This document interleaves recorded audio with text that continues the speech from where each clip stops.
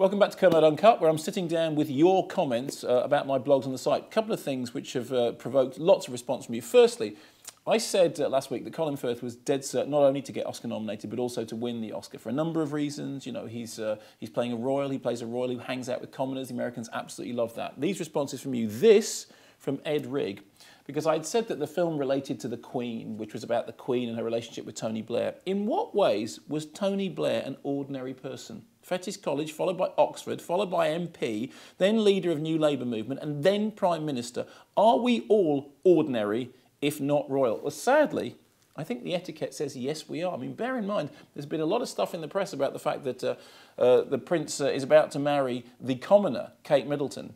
She's obviously not common in the way that you and I understand that word. Uh, this from Sally W. How can Firth not get an Oscar? It's a film about royalty featuring a non-disabled actor playing a disabled person. I have a dream that one day there'll be a serious Oscar contender, a brilliant actor who is a disabled person playing a disabled person in a film which removes rather than reinforces the notion that cure is the route to acceptance. Um, one of the other things that really provoked people was that I had said that the Americans love this kind of thing, you know, as if this is somehow a transatlantic trait. This from Generic Mammal. We Americans have a particular interest in movies that depict royalty getting involved with commoners. Do we? Really? Never heard that before. Given that Crouching Tiger, Hidden Dragon grossed more stateside than all the films you've mentioned combined, I'd say we have more of an interest in watching Asian people flying around on wires, except that we don't have a particular interest in that either. And this from Bob Box, perhaps my favourite comment of the week. You see, the thing is, in America, they just love that scenario. Thanks for pointing this out, Mark. It's not like the films you mentioned received awards anywhere else. Oh, wait, just check the BAFTA nominations. You see, the thing is, in Britain, they just love their own films. Something else that came up from this was that I said I'd be very happy for Colin Firth to win the Oscar deserved win, but I wanted him to win for a film Trauma, which was made a few years ago and very few people saw. And many of you have seen it and wrote in about it. This from Jonathan. I agree about Trauma. It's a hugely underrated film. You may be interested to know that although Colin Firth didn't win the BAFTA for it, the film's website did win the film website BAFTA. Such a thing did exist, though it doesn't anymore, back in 2005, and it's still online, and it is, and I have checked it out, and it's a very good website.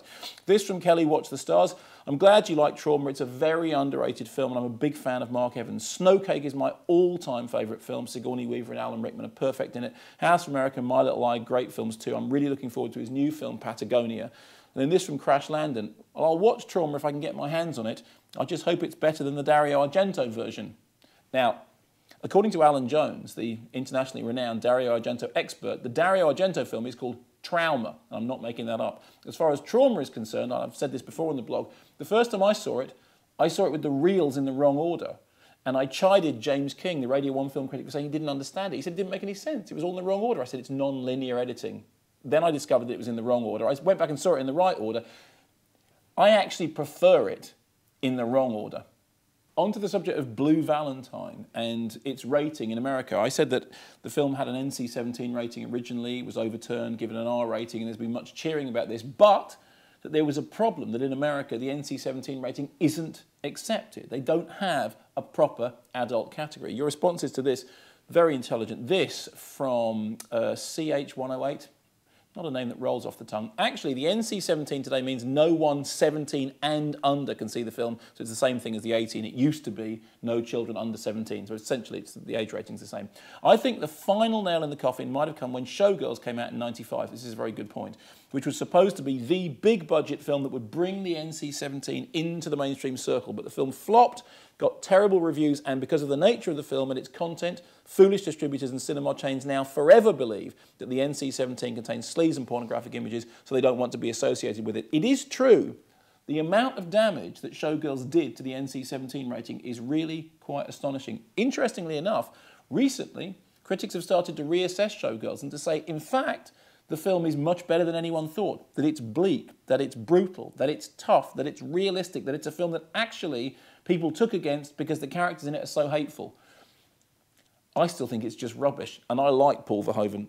Now, many of you referred to a very good documentary by Kirby Dick called This Film Is Not Yet Rated about the iniquities of the American rating system. Interestingly enough, when that film was released on DVD here, it was released with two different covers, one depicting a naked man, one depicting a naked woman, so you could decide your own prejudices. Also, if you're interested in Kirby Dick, check out the documentary he made about Bob Flanagan's Super Masochist. That's a terrific piece of work. I'm going to finish with this from Scott from Toronto, who for me really nails the issue with the NC-17. The problem is purely a financial one.